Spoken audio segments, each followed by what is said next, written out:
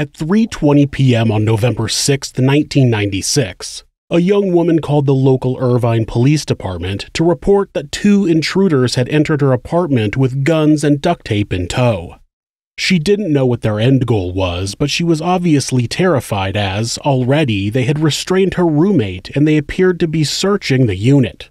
Were they there for her? Were they looking for items to steal? Do they even know she's there? And if they found her, what exactly were their intentions? Those were all of the thoughts running through Sunny Han's mind at that moment, but for as much as it might have overwhelmed her while it was happening, she could have never imagined that the person who sent the assailants to her home was none other than her twin sister. Yes, the armed men had been sent there by Jean Han, and her instructions for them were to kill Sunny on sight. This is Monsters.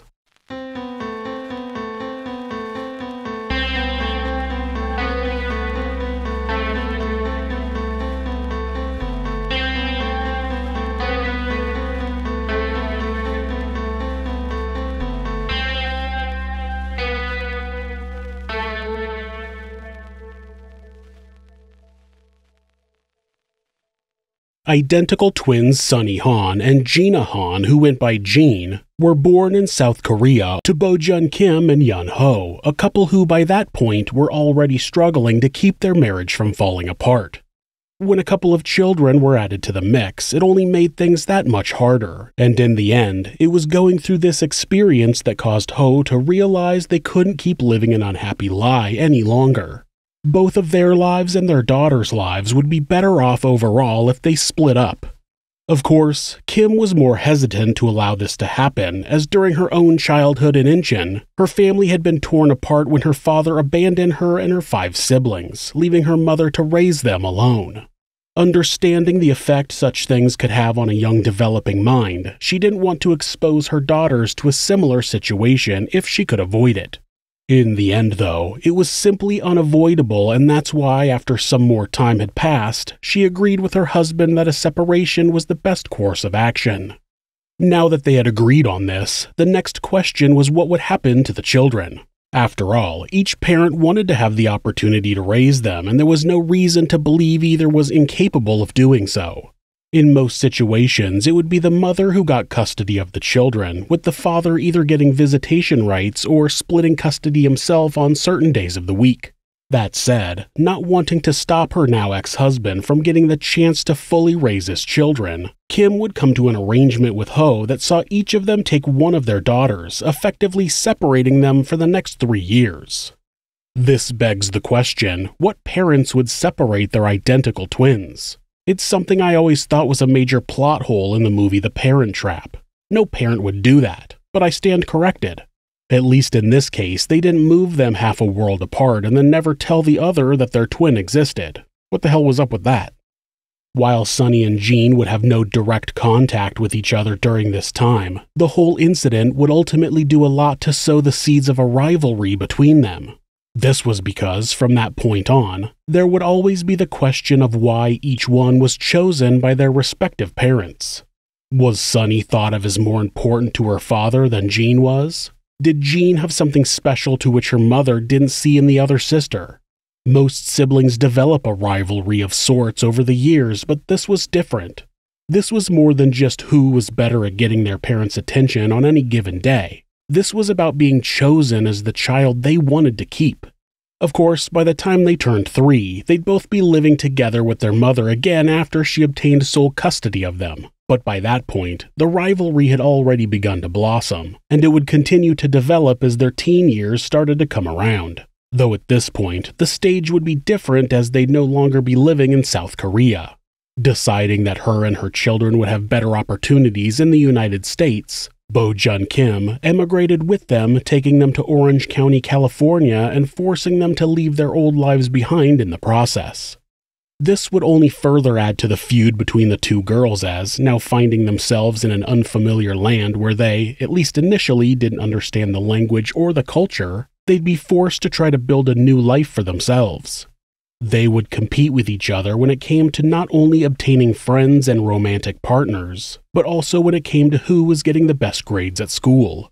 While it's still hard to see how things got to the point where hits would be taken out, It's easy to see how what could have been a very normal and very natural sisterly rivalry was amplified to such extreme levels so early on. It certainly wasn't made any easier for them by the fact that their mother had by this point developed something of a gambling problem, a problem that wasn't easy to fund on her meager salary as a cocktail waitress. On top of that, she had been struggling with mental health issues for some time, though as a result of the stigma she felt about being an East Asian going through this, she chose not to get any help and instead worked through it herself by jumping from boyfriend to boyfriend and sinking further into addiction. This meant times of hardship for the girls during their teenage years, as, with there often being little money to go around, and it not being uncommon for their mother to leave them alone for days at a time while she went away on gambling trips, it meant the two were forced to learn how to fend for themselves. This actually forced the twins to work together more, and despite how it may seem so far, the two were actually very close throughout their formative years. Sure, there was a rivalry there, one which could get intense at times, but with both realizing from an early age that they would have to rely on each other to survive, they created a bond which was almost impossible to breach. Of course, eventually having each other wasn't enough, and with Kim growing increasingly distant and incapable of fulfilling her duties as a mother, she eventually decided that the best thing for the sake of her children was for them to be sent away once more. In 1990, she sent the twins to live with their aunt and uncle in nearby Campo, where they would, for the first time, feel the benefit of a stable household. This stability would of course prove to be a benefit for them, because from there each would do well while studying at Mountain Empire High School, with both of them graduating as co valedictorians in their senior year despite how well they were now doing outwardly, and how much their experiences had caused them to develop a strong bond with one another, there was still a lot of underlying tension between the two. In fact, at one point this tension would manifest itself in dramatic fashion when, while the siblings were still 15 years old, Sunny would stab Jean in her left thigh after the two had started an argument with each other which clearly got out of hand. It seemed as if Jean, feeling like her sister was the favored child, had grown even more jealous of Sunny by this point. After all, in her mind, it always seemed like she was the one taking the brunt of her mother's angry outbursts. Outbursts which would happen every time she lost money while gambling or was forced to confront the reality that yet another romantic relationship was coming to an end. This had led to a series of arguments between the twins, with the last one almost ending in disaster. Even if this was a little too close for comfort, it did at least alert others to the fact that there were larger issues going on with the girls and that, underneath their veneer of loving sisters, there was more going on. That was certainly the opinion of Jean Buckman, a family friend who would later go on the record as saying that, with regards to Sunny and Jean, quote, they didn't know the difference between wants and needs, because half of the time, they didn't have what they needed. So their wants got out of control, this gives us a window into the psychology of the two at this point, in particular, the psychology of Jean. Being the youngest sibling by mere minutes and the clear inferior child in their mother's eyes as far as she believed. She would always have a complex about how the world looked at her in comparison to her twin. When they left school not long after this, and Sunny went on to study at the University of La Verne on a scholarship, Jean would feel even lesser by comparison as she would remain working at a restaurant instead, having to save up money for her own college studies while there. Eventually, after giving up on any hopes of being able to afford that, she instead decided to switch up career paths to something she felt more worthy of. This new career path would see her enlist in the Air Force not long after passing the U.S. citizenship test while she was still just 20 years old. Unfortunately for her, though, this would prove to be a poor decision as, only one month after being sent to Lackland Air Force Base in Texas to start basic training, Jean would come to realize she wasn't cut out for military life. The environment was just too strict for her, not allowing her any of the freedoms she'd grown accustomed to in her youth.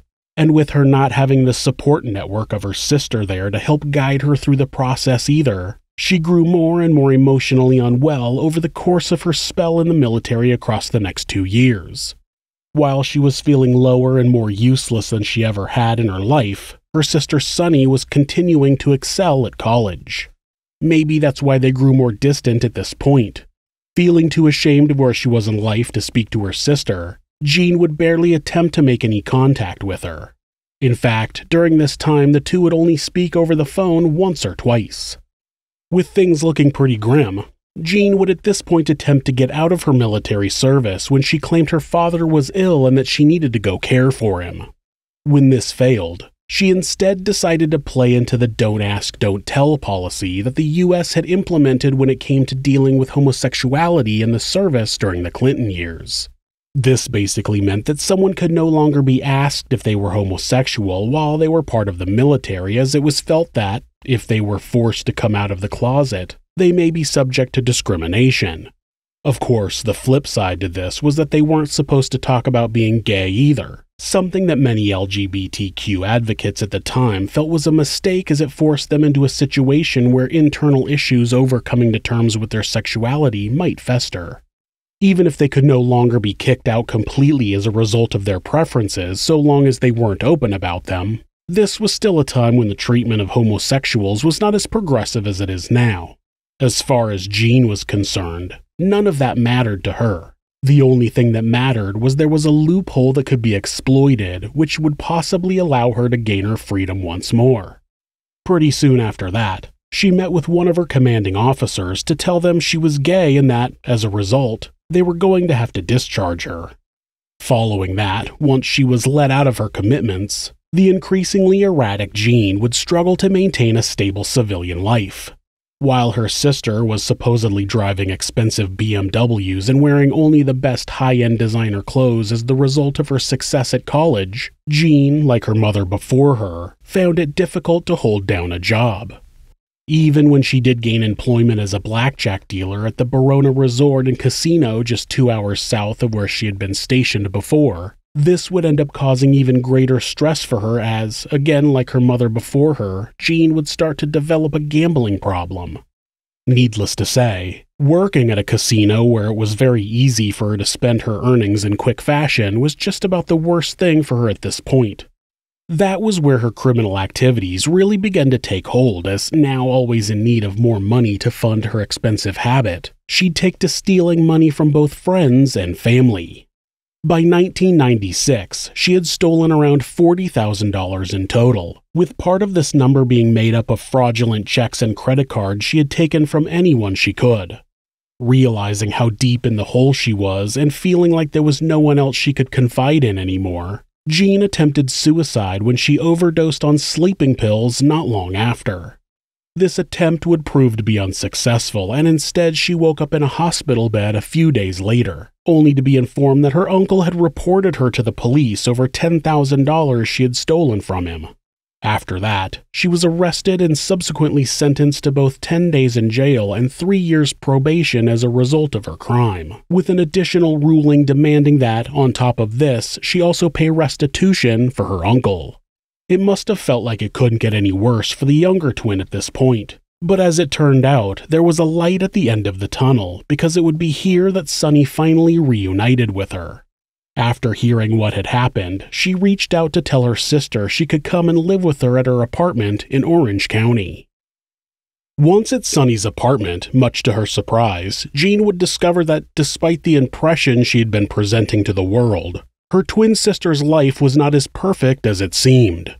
As a relatively poor child, Sunny had often struggled to keep up appearances throughout this time as she wanted to look like she was living a lifestyle comparable to her fellow students. Eventually, though, the pressure of trying to keep this up led to her grades slipping and her losing her scholarship as a result, forcing her to leave the University of La Verne and enroll in a cheaper community college. And when this proved to be too much for her, Sunny dropped out altogether and found work as a receptionist. So, in reality, this reunion wasn't just about helping Jean out. It was about allowing the sisters to have a fresh start, with each having the other to support them again. They felt like the world was their oyster once more. The only problem was that the sibling rivalry had never fully gone away, so before long they were regularly at each other's throats again, with Sunny kicking Jean out on a number of occasions on account of her not doing enough to help around the household. So bad did things get, in fact, that in May of that year, local police were called to the apartment when a violent fight broke out between the twins. While Jean was concerned she was going to get arrested again at this point, it would turn out to be her sister who was taken away in cuffs. Unbeknownst to the younger twin, there was a warrant out for Sunny's arrest. It turned out that it wasn't just Jean who had gotten herself involved in crime, as three years prior, Sunny had stolen a friend's credit card and gone on a $1,300 shopping spree with it. She was still trying to keep up with the lifestyle of her peers at the time, and given she didn't have the same kind of money available through her family as they did, she felt this was her only way of doing so. Rather than accepting responsibility for this, though, Sunny instead refused to accept that she had done anything wrong. Instead, she argued that she assumed her friend was so rich she wouldn't mind missing out on a little bit of money. Can't argue with that logic, right? On top of that, since it had been the fight with her sister that caused the police to catch her, Sunny took out the majority of her anger on Jean, with her calling her sister from jail and threatening to kick her out once she got home. Jean was so angry at the way she had been spoken to, she used the fact that her and her twin were identical in appearance to her advantage as she stole Sunny's ID, credit card, and car, then went on a shopping spree of her own. But this was more than just an act of revenge, of course. It was a chance for Jean to briefly leave her own messed up life behind and be someone else for a while. Someone who, at least to an outside observer, was successful and happy. It was pure wish fulfillment, and given how poorly her life had been up to this point, understandable, even if it remained a bad decision in the long run. The reason being, after stealing cash out of her sister's account, then driving up to an ex boyfriend's house and subsequently stealing checks from him too, Jean would find herself in trouble with the law all over again. This time, it was her turn to get caught and formally charged by the authorities, and with Sunny refusing to help her despite her pleas, Jean was sentenced to six months in jail with an added work furlough which gave her five hours a day to leave the prison facility. So she got caught stealing from her sister and then expected that same sister to help her get out of it? Classic. Of course, the decision to allow her furlough would prove to be a poor one in hindsight because not long after this, Jean would go on the lam. Since she blamed her sister for her imprisonment, she started to develop a plan to get even. So, Sunny was arrested for a crime that had nothing to do with Jean, but blamed her for the arrest. Then Jean stole money from Sunny and blamed her for that arrest. These are two horribly selfish and irresponsible people, but only one of them would take their rivalry to a deadly level. Jean ended up finding a place owned by two sisters named Nikki and Rita in El Cajon where she could lay low for a while. Then she came into contact with a 16 year old boy named Archie Bryant.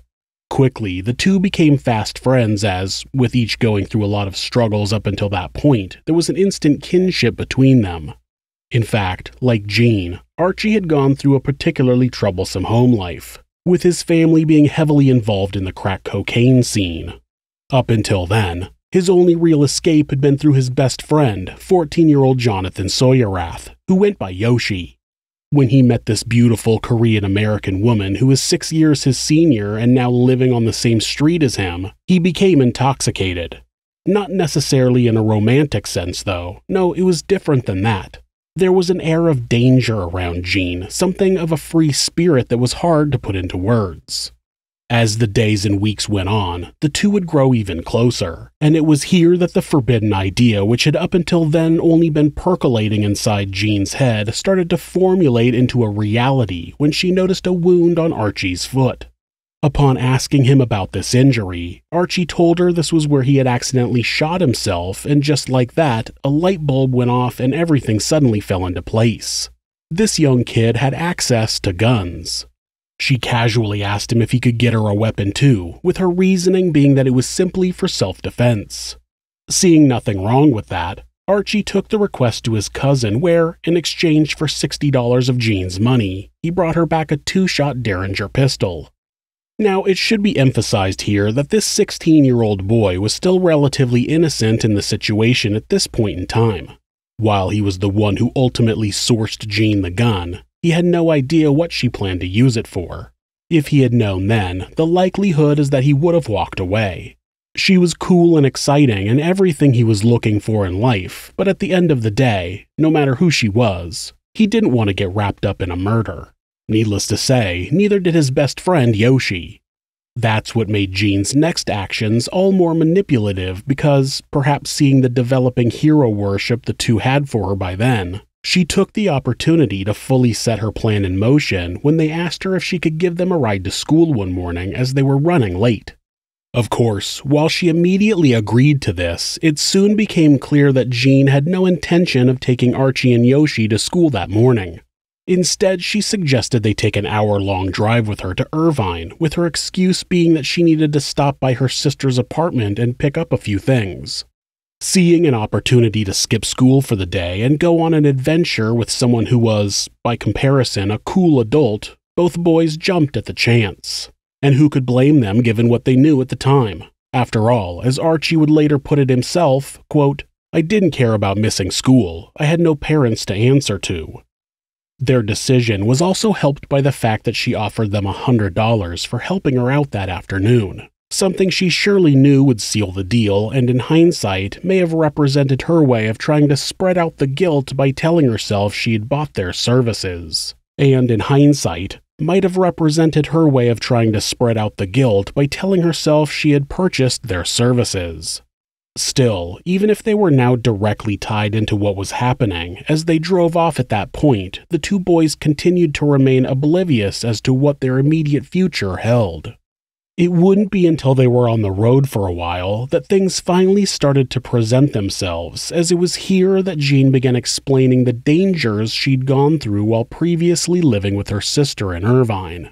The dangers she explained were far different from reality, though, because instead of telling Archie and Yoshi about the toxic relationship she and Sunny had developed, she instead spun them a yarn about Asian gangsters assaulting her and causing her to flee the city for her own safety. With this bombshell now having been dropped, Jean asked the boys if they were able to handle themselves in a fight. She explained that it may be necessary as there were likely still some of those same gangsters looking for her in the area. While this probably spooked Archie and Yoshi to some extent, by that point they were so far into the situation that they seemed only too happy to continue, caught up as they were in what they saw as the romantic chaos of Jean's past life. It must have been like being in a movie for them in some ways. That was why they didn't think twice when, once in Irvine, Jean stopped at a Ralph's grocery store to pick up some duct tape, twine, gloves, and most confusingly without context, a single potato. As far as they were concerned, though, once she explained away these purchases as being related to the threat of Asian gangs coming after her, they took her at her word. They trusted her. And though this trust would prove to be a mistake, it was enough for them to continue on the journey as she got back into her car and drove them to San Joaquin Marsh, a quiet 300 acre wildlife sanctuary where they could do some target practice without the worry of anyone seeing them. As crazy as it may sound to someone looking in from the outside, by this point, Jean's cult of personality had seen her convince both boys, in particular Archie, to protect her with a gun should the situation arise. And of course, he had clearly fired a weapon before, since that was the reason for the scar on his foot. But that said, there's a big difference between accidentally unloading a weapon while fooling around with it and deliberately taking aim at another person something which there's no evidence to suggest he had ever attempted before. Despite coming from a troubled family, Archie was by all accounts a kind and gentle boy, someone who wouldn't have hurt a fly himself. Or at least that's what people thought of him, because when later explaining why he chose to take up Jean on her offer of target practice, using the potato as a makeshift suppressor, he would reply, quote, Name one teenage boy who wouldn't want to use that opportunity to fire a gun. There was no deep seated conspiracy. I was just a kid being a kid taking advantage of the moment.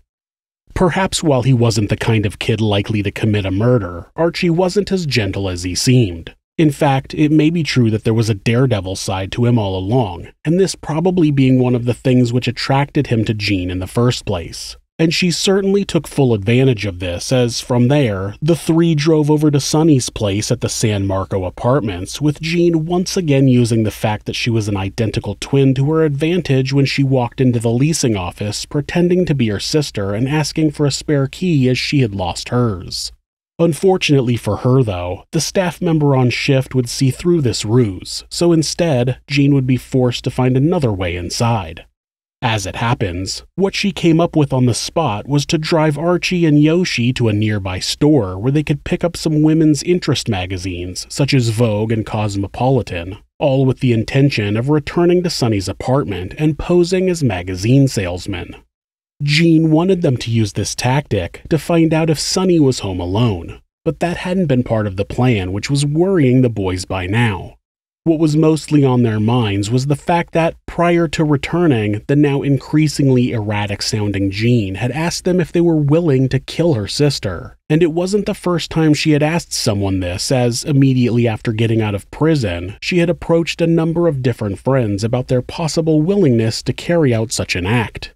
While all of those people had turned her down, Jean felt pretty confident in her belief that Archie and Yoshi would finally be the ones to help her out. Of course, both boys initially said no to this, with them being taken aback by the bluntness of the request. Upon realizing the potential danger of the situation they were in, however, Archie would have a change of heart. Now, this may seem like a complete 180 in decision making, but it shouldn't be forgotten that, like any good narcissist looking to manipulate someone, Jean had quietly been laying the groundwork for this all day. First with the offer to skip school and join her on a crosstown trip, then by taking them for shooting practice, and finally by dropping the bombshell on them. It's a tactic that's been used many times in the past, and as Archie himself later suggested, if this girl was willing to have a hit placed on her own sister, what was she likely to do with them should they not comply? It certainly wasn't something they wanted to find out the answer to, so, agreeing to go along with the plan, Archie would take the gun from her, signaling that he was in. What she didn't realize, though, was that, Despite now being scared of what she was capable of, Archie had no intention of killing anyone. Instead, his main concern was not only about keeping both he and his friend safe, but also the woman in the apartment who had no idea what her own sister was currently plotting. In order to do this, though, he would have to at least partially play along, with him believing at this point that if he merely scared Sunny, Jean would think this was enough and would allow them to go home. At this point, upon returning to Sunny's apartment, Archie and Yoshi went up to her door and knocked. Unfortunately, though, it was Sunny's roommate Helen who answered, causing the would be hitmen to retreat as Jean tried to calm them down by taking them out for lunch. But that didn't mean she was done with her plan because just a few hours later, she forced the boys to try again, with her this time instructing them not to take no for an answer. Archie and Yoshi returned to the unit, and after Helen answered the door a second time and once again politely declined their offer of a magazine subscription, the boys forced their way into the apartment. According to Archie, he still had no intent of killing anyone inside, but realizing they had to do something, he held his gun to Helen's temple while his friend tied her hands with twine and placed duct tape over her mouth. Meanwhile, elsewhere in the apartment, Sunny was just stepping out of the shower. Hearing what was going on in the other room, she immediately picked up her cell phone and dialed 911, letting the Irvine Police Department know that two intruders had entered her apartment and they had guns and duct tape. With Jean outside in the car waiting to receive confirmation of her sister's assassination, and Sunny hiding inside her own apartment, terrified for her own life but having no idea that it was her sister who ordered the hit, the teen boys started searching for their target. Once Archie discovered her with her phone in her hand, he would take her at her word when she said she hadn't used it to call the police. Instead, he also tied her up and made both women sit in the bathtub, though by now it was clear to Sunny that both he and his associate were just as terrified as she was, perhaps even more so. In a way, what was taking place inside this home on that afternoon was the result of a careful chess game being played out by Jean Han, as, while she continued to sit outside, awaiting news that her task had been completed, all the pieces she had so carefully manipulated were falling apart, each of them just as scared as the other. Her plan would ultimately fail, though, because as Yoshi was running outside to tell her it was safe to come into the apartment, the police were arriving on the scene. At this point, now realizing she was at risk of being caught, Jean played dumb with the cops, asking if everything was okay and claiming to be her sister Sunny. Meanwhile, back inside, Archie saw the red and blue lights and, immediately understanding what was going on, he untied both Sunny and Helen, trying to play the whole thing off as a practical joke. But things had gone too far to simply brush off as a practical joke by now, and he was trying to make his escape from the scene when he was tackled by a police officer and arrested.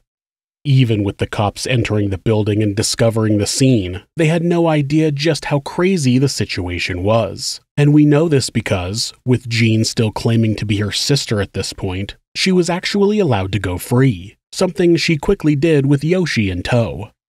As she was leaving, she would look in her rearview mirror one more time and see Sunny being taken out of the apartment. It was this sight which immediately brought a wave of mixed emotions over her as the reality of what she had almost done finally hit home. It's easy to call Jean Han evil in this situation, but if what she says is to be believed, something I have a hard time doing, she really did feel remorse at this point. It apparently wasn't enough remorse to turn herself in or try to help Archie because she quickly decided that she needed to get out of the country as soon as possible. Immediately from the scene of the crime, she began racing towards the Mexican border, hoping against hope that she could get there before the cops realized she was the assailant. Of course, if she was going to do this, though, she would need money. So, still having her sister's identification, she used it to withdraw $5,000 from Sunny's account at a bank in Laguna Beach just an hour later. Yep, real remorseful. A couple of hours after that, she also completed a credit application to buy a 300ZX sports car from a Nissan dealership in San Juan Capistrano. While this purchase was waiting to be approved, the fleeing criminal took Yoshi back to the rental agency she'd borrowed her current vehicle from, fully unaware that by then the cops had figured everything out and were waiting for her. After investigators spoke to Archie and got the full story, the San Diego Police Department was able to piece together what had happened that afternoon. So, when Jean and Yoshi arrived at the rental agency soon after, officers were there to arrest her and search her car, finding a bullet casing which matched those loaded in the Derringer in Archie's possession.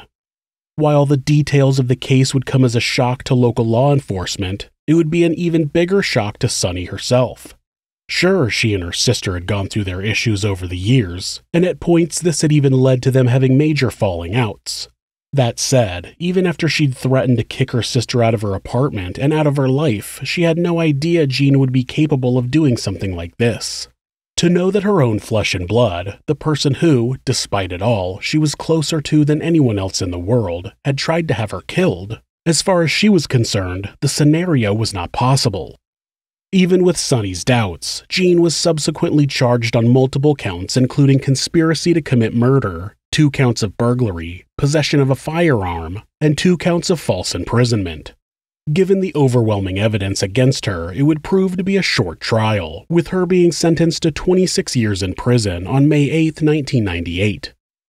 As far as Archie and Yoshi went, sure they had played a major role in the crime, but they had done so, at least in part, under duress. As far as the courts were concerned, though, they were willing enough participants in the whole thing that they were each tried as co conspirators. Archie ended up serving 14 years behind bars after being convicted of first degree burglary and two counts of false imprisonment, with Yoshi serving four years. That said, even though the case was then settled, it wouldn't do much to stop the larger Korean American community from getting involved, with them someone surprisingly supporting Jean. The community banded together and pleaded for leniency in Jean's sentencing, with them claiming that the whole thing was overblown and that fights between siblings were just part of Korean culture. Some would even go as far as believing that Jean was innocent of the crime she had been accused of, with one person believing that she was far too smart to have failed in such an attempt. Seeing an opportunity to manipulate even more people, Jean would play up to this, continually claiming that she had no idea what those two boys were doing in her sister's apartment that afternoon. As for the larger public, however, they would largely side with Sunny. Seeing her as an innocent who had been a victim of her crazed sister made it easier for people to present the whole thing in terms of a traditional good versus evil narrative. As we've seen, though, while it's undeniable that Jean was guilty of attempting to have her sister killed, it's not quite as simple as her being the evil one and Sunny being the good one. Instead, this is a story with far more shades of gray than that. One where two sisters who had gone through a difficult upbringing and often found solace in each other would see that bond periodically be broken by an intense sibling rivalry and mental health issues likely passed on to them by their mother. It was only Jean, though, who took things to a level which would have been impossible to come back from had it succeeded. As the media circus picked up and she became public enemy number one, Jean would try her best to retreat from the whole thing. Sunny, meanwhile, would be only too happy to put herself out there, because with her being the clear victim in the public's eyes. She would do a number of interviews over the months that followed, telling her side of the story and building up further sympathy over the horror she had endured. And as more and more information started to come out, people would only grow increasingly intrigued by this Shakespearean tale of one sister constantly feeling like she was living in the shadow of another, only for this to lead to her plotting the ultimate revenge. To them, it was like something ripped straight out of folklore, especially when you took into account the fact that the two were identical twins, and so for one, seeing the other do better was like looking at a mirror image of what their life could have been if fate was kinder to them. As it happens, there's a psychological phenomenon known as the twinning reaction, which may have been able to provide the explanation as to why this went down the way it did. Basically, the twinning reaction is a process where the emotions between twins begin to intermingle closely. An example of which would be the stories we've heard of one sibling feeling another's pain and, as a result, being alerted to them being in danger, despite the fact that they may be miles away. In other cases, though, it may present itself as a twin feeling rage at their other half and deciding to take it out on themselves in the form of self harm. As was perhaps the case here, it could be a situation where one feels such self hatred over their own situation that this anger eventually manifests itself outwardly toward the sibling. Could it be then that when Jean was planning to have her sister killed, she subconsciously wanted to end her own life? It's certainly a theory some psychologists have floated, and one which continues to have some merit to this day. Not that that explanation would provide much solace for Sunny, though, because, at this point, Perhaps as a result of dealing with the trauma that had happened, her own life would begin to spiral. Not long after the attempted murder, she attempted suicide when she took 35 sleeping pills, only to be saved when paramedics discovered her and rushed her to the hospital. That wouldn't be the end of her fall, though, because from there, things would get even worse, with her now starting down the path of prostitution when she became unable to hold down a job any other way. Meanwhile, as if a result of Sunny's life falling apart, the scales would now tip in Jean's favor, as while in prison, the incarcerated sister would spend her time bettering herself by earning an associate's degree in social and behavioral sciences. This may seem like an ironic degree to choose at first, given everything which had happened, but perhaps this was a way for Jean to understand herself and figure out why she had done what she did. After all, in her own words, she would explain her choice by saying, quote, I'm interested in anything to do with behavior and social patterns, because I recognize my old behavior and how it ties to my personality at the time, the person I was before I committed my crime. As the years went on, Jean would eventually confess to being the mastermind behind the whole incident, with her admitting that at one point she really did want to kill her own flesh and blood. That said, she also claimed to have felt much remorse by then, and it would partially be this acceptance of responsibility which led to Sunny speaking to her sister's parole board in 2017 and requesting that she be released from prison. As far as she was concerned, by now her sister had paid for her crime and had learned her lesson, and given the fact that her mother was older and suffering from diabetes, someone was going to have to look after her. Sunny couldn't take on that task as, after her own fall from grace, she had become estranged from Kim. So this meant that now, after all of these years of her being the perceived favorite daughter, she would be usurped in the role by Jean. After spending 20 years in prison, Jean Han was released on parole in 2018, with her now being the one to take care of their mother, all while she was simultaneously gaining an engineering degree and finding stable work in the San Francisco Bay Area. It seemed like, as in fables of old, there's always one twin who's able to leech all of the good qualities from the other, leaving them with only ashes to work with as they struggle to build a life. While at one point Jean was considered to be the evil twin, you can now argue that this had become Sunny's role, though whether these roles will switch again at some point remains to be seen. Perhaps if the sisters came together once more, then maybe they could work it out in a way that would help each other, but at this time it appears neither Jean or her mother Kim has had any contact with Sunny in some time. I use this show to tell the stories of people I refer to as monsters, and I think at one time, Jean Han was one. She wanted to have her own sister murdered over petty squabbling, but in this story, it makes me wonder if a monster has to stay a monster. I've presented many examples of people who were monsters and never changed their ways. After multiple stints in prison, they continued to get out and carry out evil acts among society in general. After being caught red handed, they continued to deny their involvement and shout from behind bars about their innocence when the evidence shows otherwise. Jean seems to have gotten herself out of the cycle that caused her to want to commit murder, but only time will tell if she really has changed or if she's just a monster in hiding, waiting for the opportunity to strike again. If you're the victim of domestic abuse, please reach out to someone for help. Please talk to your local shelter or call the National Domestic Abuse Hotline at 1 800 799 SAFE. That's 1 800 799 7233 or you can go to thehotline.org to chat with someone online. This website is set up so that at any time, hitting the escape key twice will take you to a Google search page. That way, if your abuser is nearby, you won't get caught seeking help.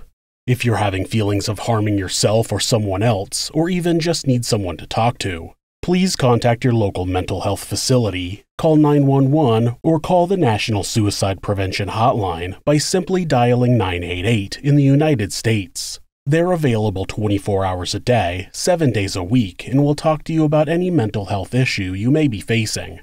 Thanks so much for letting me tell you this story. If you enjoyed it, subscribe on whatever platform you're on, hit like, rate us, or leave us a comment.